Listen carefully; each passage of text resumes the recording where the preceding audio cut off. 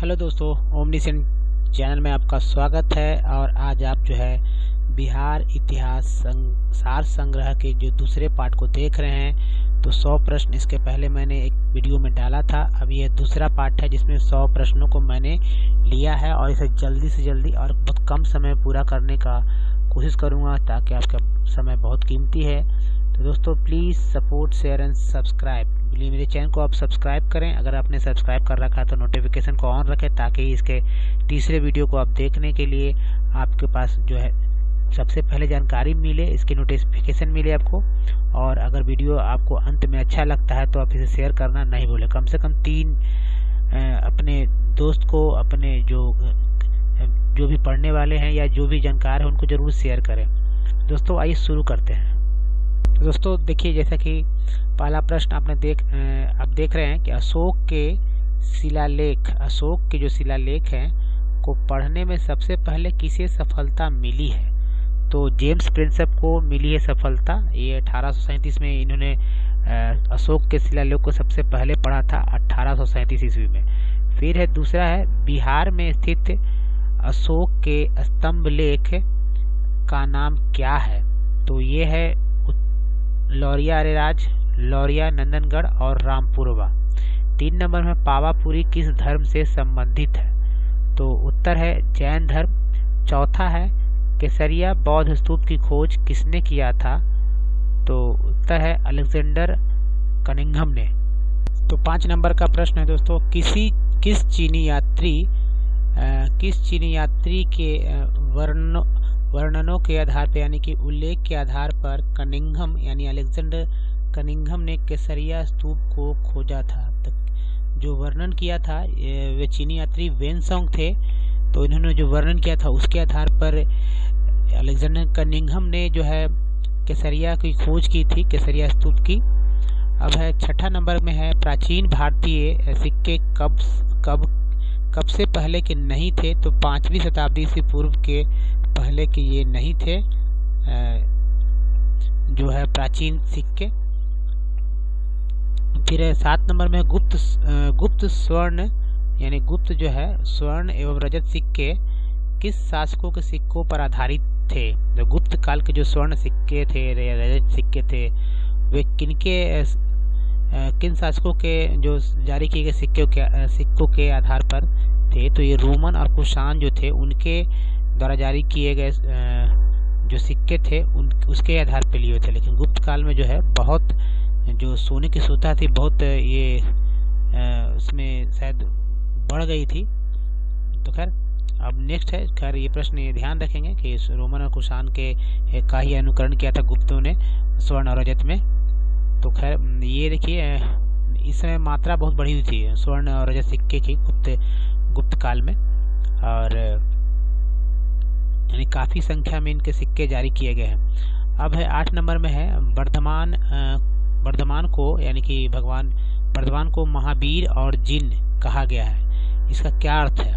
तो सुख, दुख पर विजय पाने के कारण ही वर्धमान को महावीर या जिन कहा गया है। नौ नौ नंबर में है, गुप्त काल में करों की कुल संख्या कितना था? तो गुप्त काल में करों की संख्या 18 थी। 18 तरह के कर थे। दस नंबर में है, जयप्रकाश नारायण का जन्म स्थली का नाम क्या है? तो सीताब दियारा है। ग्यारह नंबर में आम्रपाली। गौतम बुद्ध के काल में किस नगर की राज नर्तकी थी? यानी कि समकालीन थी आम्रपाली गौतम बुद्ध के समय की। तो ये वैशाली की थी। बारह नंबर में है महिला आंचल के प्रसिद्ध लेखक कौन थे? तो ये फनीश्वर नाथ रेणु थे। फिर देखिए तेरहवा नंबर में है मरांग गोमके। के नाम से कौन चर्चित हुए? तो बिरसा मुंडा चर्चित हुए। चौदह नंबर में है, देशेर कथा नामक क्रांतिकारी पुस्तक के लेखक कौन था? तो सखाराम गणेश देवस्कर थे। और पंद्रह नंबर में है, शेर सासूरी के पिता हसन सूर का मकबरा कहाँ निर्मित है? जो कि सूखा मकबरा के नाम से चर्चित है। तो रोहतासगढ़ में है ये। फिर सोलह नंबर में है, महा, भगवान महावीर के समय पावापुरी किसकी राजधानी थी? तो मल, मल्ल शासकों की राजधानी थी। सत्रह नंबर में मेगास्थनीज पाटलिपुत्र कब आया था? तो 315 ईस्वी में मेगास्थनीज जो है पाटलिपुत्र आया था।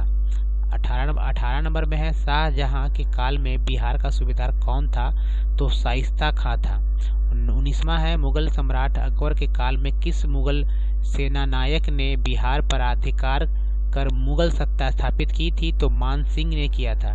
तो मान सिंह का जो है रोहतासगढ़ में किला भी है और तो इम्पोर्टेंट है ये। उन्होंने किला बनाया था। यहाँ की सुबेदारी भी उनके हाथ में थी काफ़ी समय तक। फिर, बीस नंबर में है इब्राहिम लोदी के काल में बिहार का सूबेदार कौन था जिसने सुल्तान के विरुद्ध विद्रोह किया था? तो ये दरिया खान वहानी थे जिन्होंने विद्रोह कर दिया था। इक्कीस नंबर में है, सुमात्रा के राज, राजा बलपुत्र देव ने देवपाल की अनुमति से कहाँ विदेशी छात्रों के रहने के लिए छात्रावास निर्मित कराया था तो नालंदा में करवाया था। नालंदा विश्वविद्यालय के आसपास शायद करवाया होगा। बाईस नंबर में बिहार से गुजरने वाला राष्ट्रीय राजमार्ग संख्या दो का निर्माण किसने कराया था? तो क्योंकि क्वेश्चन में थोड़ा सा बदलाव है दोस्तों, इसको ग्रैंड ट्रंक रोड के नाम से जाना जाता है और इसका निर्माण जो है शेरशाह सूरी ने करवाया था। तेईस नंबर में है, कुम्भहार पार्क कहाँ स्थित है? तो ये पटना में स्थित है, कुम्भहार पार्क। कुम्भहार नाम से जो है एक विधानसभा है कुम्भहार विधानसभा क्षेत्र भी है इसके नाम से। अब है, चौबीस नंबर में, गुप्त काल में दान विभाग का प्रधान क्या कहलाता था? तो अग्रहारिक कहलाता था। पच्चीसवा है, पावापुरी का संबंध किस धर्म से है? तो भगवान महावीर से है एक्चुअली जैन धर्म से है। छब्बीस नंबर में है, बिहार में बिहार शरीफ है। बिहार में है, बिहार शरीफ, ठीक है? और तो बिहार शरीफ में जो है मुसलमानों के लिए एक तरह से तीर्थ स्थल माना जाता है बिहार शरीफ को। इस नगर का संबंध किससे रहा है? तो यहाँ पर इसलिए माना जाता है तीर्थ स्थल मुसलमानों का क्योंकि यहाँ पर संत पीर मखदूम शाह सरफुद्दीन का जो है मक, वो स्थल है इसीलिए। सत्ताईस नंबर में मंजूसा चित्र शैली किस क्षेत्र में लोकप्रिय था? तो ये अंग क्षेत्र में लोकप्रिय था। अट्ठाईस नंबर में मौर्य काल में बाज़ार पर नियंत्रण करने वाला क्या कहलाता था? तो पणाध्यक्ष कहलाता था। उनतीस नंबर में है मौर्य काल में रूप जीवा।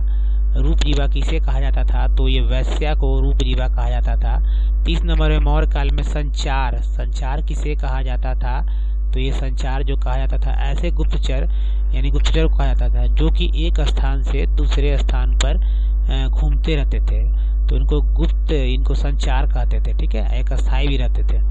इकतीस नंबर में है मौर्यकालीन मौर्यकालीन प्रांत जो है, अवंती। तो अवंती की राजधानी कहाँ थी? तो उज्जैनी थी अवंती की राजधानी। बत्तीसवा गुप्त काल में महासंधि विग्रहिक किस विभाग का प्रधान था? तो विदेश विदेश नीति विभाग का जो प्रधान था, महासंधि महासंधि विग्रहिक ठीक है, विदेश नीति विभाग का प्रधान था। अब तैतीस नंबर में पटना शैली के कलाकारों में सबसे पहला नाम किसका लिया जाता है? तो उत्तर है सेवक राम का लिया जाता है ये। फिर चौतीसवा है पाल चित्रकला शैली पर किसका प्रभाव रहा है? तो बौद्ध कला बौद्ध कला का प्रभाव रहा है। तो पैंतीस नंबर में नालंदा विश्वविद्यालय में शिक्षा का माध्यम क्या था? तो पाली भाषा था। छत्तीस नंबर में विक्रमशिला विश्वविद्यालय बौद्ध धर्म के किस शाखा का प्रमुख केंद्र था? तो ब्रजियान शाखा का ये प्रमुख केंद्र था। सैंतीस नंबर में है उदंतपुरी विश्वविद्यालय उदंतपुरी विश्वविद्यालय की, की किस विद्या की शिक्षा का केंद्र था? तो तंत्र विद्या की वहाँ पढ़ाई होती थी उदंतपुरी विश्वविद्यालय में बिहार में है। और भागलपुर का क्षेत्र है वहीं कहीं है। अड़तीस नंबर में है भारत के प्राचीन विश्वविद्यालयों में से एक बिहार से जो है बिहार से बिहार में स्थित विश्वविद्यालय कौन था? तो नालंदा विश्वविद्यालय सबसे प्राचीन में जब तक्षशिला के बाद इसका नाम आता है। अगर आपने कहीं पढ़ा है तो उनचालीस नंबर में है बादशाह अफगान बादशाह, शेर शाह सूरी का मकबरा बिहार के किस नगर में है? तो सासाराम में है, इसको सहसराम भी कहते हैं। चालीस नंबर में उस्ताद बिस्मिल्ला खान का जन्म कहाँ हुआ था? तो डुमराव में हुआ था ये, और ये बक्सर का ये क्षेत्र है, डुमराव। इकतालीस नंबर में बिस्मिल्ला खान, कौन सा यंत्र बजाते थे? तो सहनाई ये बजाते थे, बहुत अच्छा सहनाई बजाते थे। इसके लिए इन्हें नेक्स्ट प्रश्न में पता चलेगा दोस्तों तो ये बिस्मिल्ला खान को किस वर्ष भारत रत्न दिया गया? यानी इसके सहनाई बजाने के लिए उनको भारत रत्न भारत रत्न दिया गया 2001 ईस्वी में। तो 2001 में इनको भारत रत्न दिया गया। फिर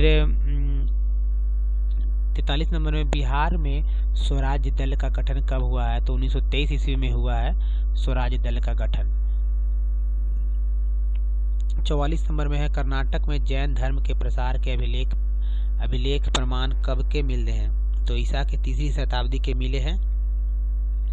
तो कर्नाटक में इसलिए दोस्तों, क्योंकि जो है चंद्रगुप्त मौर्य जो है उन्होंने वहाँ चले गए थे जब यहाँ मगध में जब यानी कि पाटलिपुत्र में जब दुर्भिक्ष पड़ा था तो वे वहाँ चले गए थे, श्रवण बेलगोला में। और वहाँ उन्होंने अपना अन्य अन्य जल पानी छोड़कर अपना प्राण को त्याग दिया था, दो सौ अंठानवे ईस्वी पूर्व में। पैंतालीस नंबर में है, पटना स्थित सचिवालय, गोलीकांड, जो कि 11 अगस्त 1942 को हुआ था 11 अगस्त 1942 को हुआ था उसमें मारे गए सभी छात्रों के के नाम थे तो ये नाम जो है बहुत देखिए जो छात्र हैं, सात इसको आजकल हम लोग सप्तमूर्ति कहते हैं, यानी सात मूर्ति बना दिया गया उनके स्थल पर। तो ये जो है लोग हैं, इनमें उमाकांत है, उमाकांत प्रसाद सिंह, रामानंद सिंह सब छात्र थे सतीश प्रसाद झा, जगपति कुमार, ठीक है? उसके बाद जगपति कुमार के बाद है देवी प्रसाद चौधरी, राजेंद्र सिंह और राम गोविंद तो राम गोविंद है। तो ये जो है प्रमुख है।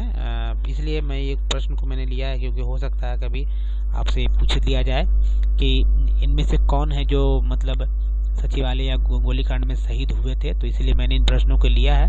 अब नेक्स्ट है दोस्तों, देखते हैं। नेक्स्ट नेक्स्ट है छियालीस नंबर में। मौर्य काल में ग्राम प्रशासन की अध्यक्षता करने वाला यानी कि प्रधान कौन हुआ करता था या क्या कहलाता था? तो ग्रामिक कहलाता था या ग्रामीणी? सैंतीस सैंतालीस नंबर में है। चंद्रगुप्त मौर्य ने कब अपने जीवन काल अपने जीवन का उपवास के द्वारा समाप्त किया था? तो ये दो सौ अंठानवे ईस्वी पूर्व में किया था, जैसे मैंने बताया आपको। अड़तालीस नंबर में सेल्यूकस की पुत्री का क्या नाम था, जिसने चंद्रगुप्त मौर्य से विवाह किया था? तो ये संधि के तहत शादी हुआ था। सेल्यूकस ने अपनी पुत्री का विवाह किया था चंद्रगुप्त मौर्य से। तो उनकी पुत्री उनकी पुत्री का नाम था हेलन। हेलन, ठीक है, हेलन बहुत, आज का, आज भी एक हेलन नाम की अभिनेत्री है। हमारे बॉलीवुड में तो हेलन, देखिए कितना पुराना नाम है हेलन। उसके बाद दोस्तों हेलन के बाद, ये देखिए उनचास नंबर में है, चंद्रगुप्त ने सेल्यूकस को उपहार में क्या दिए थे? तो शादी के बाद हुआ था, संधि के बाद। तो ये 500 हाथी दिए थे ये, ठीक है? 500 हाथी चंद्रगुप्त ने दिया था सेल्यूकस को और 50 नंबर में है, मौर्य काल में कितने प्रकार के तीर्थ थे? तो 18 प्रकार के तीर्थ हुआ करते थे। ये तीर्थ क्या थे? तो तीर्थ जो थे दोस्तों, ये पदाधिकारी लोग होते थे, तीर्थ। तो विभाग के तो इक्यावन नंबर में मौर्य काल में वेश्याओं के अध्यक्ष क्या कहलाते तो गणिका अध्यक्ष कहलाते थे। मौर्य काल में वेश्याओं के अध्यक्ष को गणिका अध्यक्ष कहा जाता था। फिर ये देखिए, बावन नंबर में मौर्य काल में राज्य के अर्थ विभाग का अध्यक्ष क्या कहलाता था? तो सन्नी धाता कहलाता था। ये सब इम्पोर्टेंट है, बहुत ध्यान से, ध्यान सुनेंगे, सन्नी धाता तिरपन नंबर में मौर्य काल में दक्षिणापथ प्रांत की राजधानी कहाँ थी? तो स्वर्णगिरी थी। दक्षिणापथ ये दक्षिणापथ प्रांत की राजधानी स्वर्णगिरी थी। और चौवन नंबर में बुद्ध के उपदेशों का संकलन किसमें है तो उपदेश जो दिए थे बुद्ध ने विनय पीटक में दिया था। और ठीक है, विनय पीटक उसके बाद है पचपन नंबर में महावीर स्वामी ने जैन धर्म के सिद्धांतों का कौन सा पांचवा मतलब सिद्धांतों में कौन सा पांचवा सिद्धांत जोड़ जोड़ दिया था? यानी चार सिद्धांत तो थे ही पांचवा सिद्धांत जो स्वामी ने, महावीर स्वामी ने जोड़ा हुआ ब्रह्मचर्य का था। छप्पन में तंजौर के राज राजेश्वर मंदिर को किस वंश के राजा ने बनवाया था? तो चूल वंश के राजा ने बनवाया था। और ये चूल जो है, अशोक के ये सब सीमा के अंदर आते थे। ठीक है? और उसके बाद ये चौथ संतावन नंबर में चौथी बौद्ध महासभा जो है महा, चौथी बौद्ध महासभा संगीति किसके संरक्षण में हुई? तो कनिष्क के संरक्षण में हुई है। कुंडल कुंडल कुंडल कुंडल बन है, कश्मीर का, वहाँ हुआ है ये, पहली शताब्दी ईस्वी में। उसके बाद है ढाबन मौर्य काल में मार्ग कर्ब, यानी मार्ग कर्ब सुनने वाला अधिकारी को क्या कहते थे? तो शुल्काध्यक्ष कहते थे। उसके बाद उनसठ नंबर में अजात शत्रु का शासन, अजात शत्रु का जो है शासन काल कितना था? तो चार सौ इक्यानवे से चार सौ उनसठ ईस्वी पूर्व, चूँकि घट रहा देखिए एक्चुअली बहुत सारे लोगों को ये भ्रम हो जाएगा कि उल्टा दिया हुआ है। चार सौ उनसठ से चार सौ इक्यानवे होना चाहिए। लेकिन नहीं दोस्तों, चूँकि ईस्वी पूर्व में है ये तो ये सही है, चार सौ इक्यानवे से चार सौ उनसठ ईस्वी पूर्व। साठ नंबर में बज्जी संघ में कितने जन थे? तो ये जन यानी जनपद थे तो आठ थे। ठीक है? उसके बाद इकसठ नंबर में है, अकबर सर्वप्रथम बिहार कब आया था? तो 15 जून पंद्रह सौ चौहत्तर को आया था अकबर बिहार में।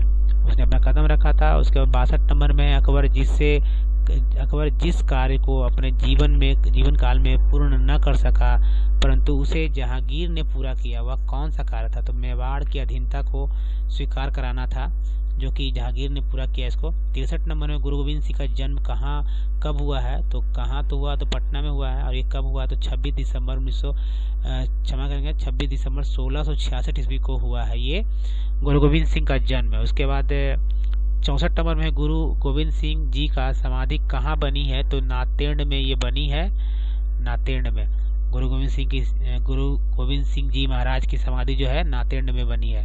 पैंसठ नंबर में है जंगली जंगली भूमि के लिए गुप्त काल में कौन सा शब्द जो है प्रचलित था, यानी कि प्रयोग में लाया जाता था तो ये अपरहत। अपरहत को जंगली भूमि कहा जाता था। छियासठ में पांतजलि द्वारा उल्लेखित साटक क्या था? यानी साटक क्या था? तो मथुरा का विशेष प्रकार का कपड़ा हुआ करता था, उसे साटक कहा जाता था।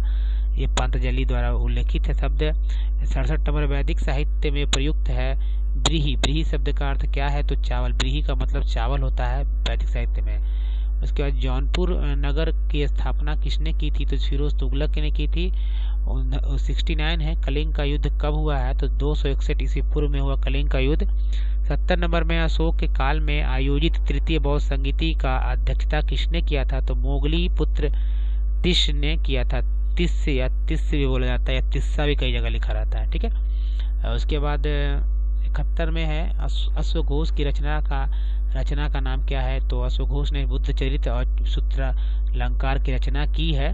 बहत्तर नंबर में चीनी यात्री सिंह नालंदा, बिहार कब आया थे? बिहार के नालंदा में कब आया था? छः सौ सत्तर ईस्वी में ये आए थे। उसके बाद है, तिहत्तर नंबर में है, शेर शाह सूरी किस स्थान पर लड़ते हुए घायल हो गया था? और हुआ था, और कुछ समय पश्चात उसकी मृत्यु हुई थी तो कालिंजर के युद्ध में शेर शाह सूरी घायल हुआ था। उसके, जिसके बाद उसकी मृत्यु हो गई थी। अब देखिए, शेर शाह का देहावसान कब हुआ था? तो 22 मई 1545 को शेर शाह जो है उसका देहावसान हुआ था। ठीक है? उसकी मृत्यु हुई थी बाईस मई पंद्रह यानी शेर शाह का देहावसान 22 मई 1545 को हुआ था। पचहत्तर नंबर में है, बुद्ध का सारनाथ में दिया गया प्रवचन क्या कहलाता है? तो धर्म चक्र प्रवर्तन कहलाता है, ठीक है? उसके बाद छिहत्तरवा है, महात्मा बुद्ध को महापरिनिर्माण कहाँ पर प्राप्त हुआ था? तो कुशीनारा कुशीनारा, कुशीनगर उसी समय कुशीनारा या कुशीनगर बोला जाता था। अभी तो देवरिया जिला है उत्तर प्रदेश का, वहाँ है ये जगह। फिर सतहत्तर नंबर में अशोक ने बौद्ध धर्म की दीक्षा, शिक्षा किससे ग्रहण किया? तो उपगुप्त से किया था, ठीक है? विधिवत रूप से शिक्षा ग्रहण करवाया गया था अशोक को उपगुप्त द्वारा। तो इसके बाद है सेवेंटी एट है, अशोक के कौन से दो अभिलेख खरोष्टी लिपि में है? तो मानसेहरा मानसेहरा और शाहबाजगढ़ी जो है अभिलेख है, ये खरोष्टी लिपि में है, ठीक है? उसके बाद सेवेंटी नाइन है अशोक। अशोक अशोक के मान मानसेहरा और शाहबाजगढ़ी शिलालेख कहाँ से मिले? तो ये दोस्तों, हजारा और पेशावर से मिले ये दोनों जो मान दोनों शिलालेख हैं जो पाकिस्तान में है। पाकिस्तान का ये एरिया है हजारा पेशावर। अस्सी नंबर में कौन सा विद्वान कनिष्क का समकालीन था? तो अशोकोश नागार्जुन और वसुमित्र जो है कनिष्क का समकालीन था। इक्यासी नंबर में थानेश्वर के वर्धन वंश का संस्थापक कौन था? तो प्रभाकर वर्धन था।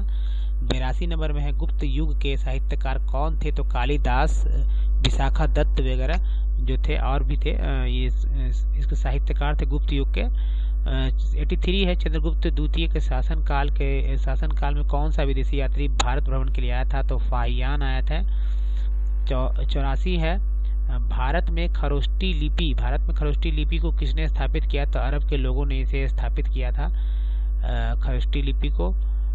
उसके बाद है 85 जो है रहट और घटी यंत्र। रहट और घटी यंत्र का प्रयोग कहाँ किया जाता है? तो रहट और घटी यंत्र का प्रयोग जो है, गुप्त युग में सिंचाई के लिए किया जाता है। 86 है, कौटिल्य के अर्थशास्त्र में तीर्थ शब्द का प्रयोग किसके लिए हुआ है? तो पाटलिपुत्र के पदाधिकारियों के लिए तीर्थ शब्द का प्रयोग हुआ है। 87 है, मौर्य काल में सीता शब्द किस शब्द में प्रयुक्त होता है? तो सरकारी ज़मीन की देखरेख करने वाले जो अधिकारी थे, उसको सीता अध्यक्ष कहते थे, और यानी सीता अध्यक्ष या सीता सरकारी ज़मीन से जुड़ा हुआ है। फिर एटी एट है, गंगा और सोन के संगम पर पटना। गंगा और सोन के संगम पर पटना में किसने किला बनवाया था? तो उदयन ने बनवाया था। उदयन, जिसको उदय भद्र भी कहते हैं और उसके बाद ये दोस्तों 89 है। सेना में हाथियों का सबसे पहले किस नरेश ने यानी किस शासक ने इस्तेमाल किया था? तो ये मगध मगध के शासकों ने इस्तेमाल किया है। मगध के शासकों ने तो इसको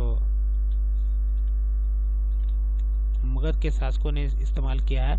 नब्बे है राजा के मंदिर का धन जब्त कर लेना चाहिए। राज, रा, मतलब राजा को जो है मंदिर का धन जब्त कर लेना चाहिए। किसने कहा था ऐसा? तो कौटिल्य ने कहा था। शक संबत कब प्रारंभ हुआ? तो 78 यानी अठहत्तर ईस्वी में इसकी इसे प्रारंभ हुआ शक संबत उसके बाद दोस्तों बानवे नंबर में है। अशोक का कौन सा अभिलेख बौद्ध धर्म के धर्म नियमों को प्रकट करता है? तो भाबरू शिलालेख जो है बौद्ध धर्म के धर्म नियमों को प्रकट करता है भाबरू शिलालेख। उसके बाद है 93 है। बौद्ध साहित्य मुख्य रूप से किस भाषा में लिखा गया है? तो पाली भाषा में बौद्ध साहित्य लिखा गया है। 94 है, खारवेल कहाँ के शासक थे? तो कलिंग के शासक थे, जो कि कलिंग जो है उड़ीसा में है वर्तमान में। कलिंग की राजधानी उस समय तौसली हुआ करती थी, जो कि अशोक के मतलब ये अशोक के समय तो तौसली थी और ये मौर्य साम्राज्य के अंतर्गत था। ये खारवेल उसके बहुत बाद में आए हैं, अशोक के बाद में बहुत आए हैं। फिर पंचानवे में हर्ष हर्षवर्धन जो है हर्षवर्धन हर्षवर्धन की रचनाएँ निम्न है। तो हर्षवर्धन ने नागानंद, रत्नावली और प्रियदर्शिका नामक रचनाएँ रची हैं। तो इनसे संबंधित प्रश्न आपसे पूछे जा सकते हैं। उसके बाद है 96 में है चंद्रगुप्त मौर्य के काल में समाज जो है सात वर्गों में विभाजित था। विभक्त था यह कहाँ से पता चलता? तो इंडिका में मेगासनीज के इंडिका में उसने वैसा लिखा है। 97 जो है नालंदा विश्वविद्यालय में तीन महान पुस्तकालय थे। तो जिनके नाम क्या है? तो रत्न सागर पुस्तकालय रत्तो रत्नोदधि पुस्तकालय और रत्न रजक पुस्तकालय। जो तीन नाम के, जिनमें तीनों में रत्न रत्न रत्न जुड़ा हुआ, एक में सागर, एक में दधि, एक में रजक। ठीक है? इस तरह याद करेंगे इसको। 98 में है, प्रशासन के क्षेत्र में शेर शाह को अकबर का पूर्वागामी माना जाता है। क्यों? क्योंकि उत्तर है कि उसकी प्रशासकीय नीतियों को अकबर ने अपना लिया था। ठीक है? प्रशासकीय नीतियों को अकबर ने अपना लिया था। क्योंकि बहुत अच्छा नीति था शेर शाह का इसलिए अपनाया था। उसके बाद 99 है दोस्तों अशोक के किस शिलालेख में पशु बध निषेध पशु बध निषेध जो है एवं निंदा का ज्ञान होता है। तो सहवाज गढ़ी शिलालेख में ऐसा ज्ञान होता है। पशुबध निषेध की पशुबध निषेध एवं निंदा की बात अशोक ने कहा है अपने शिलालेख के माध्यम से, जो कि सहवाज गढ़ी शिलालेख है। सौ नंबर का प्रश्न है, छठी शताब्दी ईस्वी के सोलह महाजन पदों की चर्चा कहाँ से मिलता है? तो दोस्तों, दो है, स्रोत है एक अंगुत्तर निकाय है दूसरा भगवती सूत्र है। तो दोनों से सोलह महाजन पदों की जानकारी मिलती है। दोस्तों, ये थे आपके सौ प्रश्न। मुझे आशा है कि इस तरह की जानकारी आपको अच्छी लगी होगी। अगर आप मेरे तीसरे वीडियो को देखना चाहते हैं हैं इस तरह के तो मैंने बोला है कि कम से कम एक हज़ार प्रश्नों को मैं शामिल करूँगा इतिहास से ही। तो आप ज़रूर मेरे जो चैनल को सब्सक्राइब करेंगे, नोटिफिकेशन को ऑन रखेंगे, इसे तीन लोगों को कम से कम ज़रूर शेयर करेंगे। तो दोस्तों, इस वीडियो में यहीं तक। धन्यवाद।